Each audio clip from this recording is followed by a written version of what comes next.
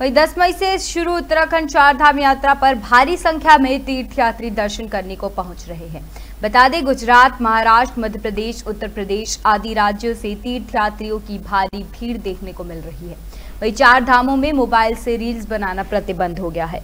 बावजूद इसके, कई तीर्थयात्री रील्स बनाने से बाज नहीं आ रहे हैं। बता दें, बद्रीनाथ मंदिर परिसर में रील बनाने वाले सैंतीस लोगों के खिलाफ कार्रवाई की गई।